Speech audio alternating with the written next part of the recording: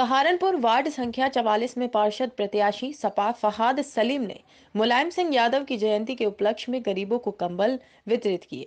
आपको बता दें, वार्ड संख्या 44 के पार्षद प्रत्याशी समाजवादी पार्टी फहाद सलीम ने क्षेत्र में एक कार्यक्रम का आयोजन किया, जिसमें उन्होंने नेताजी की जयंती के उपलक्ष्य में गरीब बेसहारा लोगों को कंबल वितरित किए और नेताजी को श्रद्धा सुमन अर्पित किए। इस दौरान उन्होंने बताया कि इस समय नगर निगम में बहुत ही ज़्यादा भ्रष्टाचार फैला हुआ है, जिसको दूर करने हेतु वह आगे आए हैं। इस संबंध में उन्होंने और भी जानकारी मेरा नाम फाज सलीम है। मैं वार्ड नंबर चवालीस, नगर निगम, सहारनपुर से पार्षद पद का प्रत्याशी हूँ।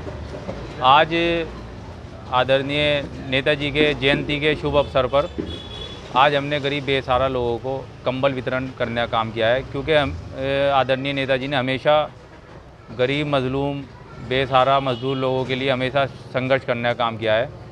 इसलिए हमने आज उनकी जयंती पर कंबल वितरण करने का काम किया है। लगभग 400 लोगों ने कंबल लेने का काम किया है यहाँ पे।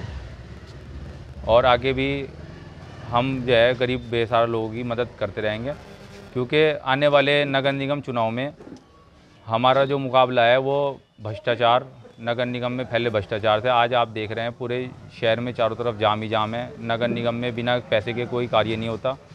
उसके लिए हम मैदान में हैं। और संघर्ष कर रहे जीतने के बाद इसके खिलाफ लड़ाई लड़ी जाएगी। देखते रहिए डीबी भारती समाचार। नज़र हर खबर पर।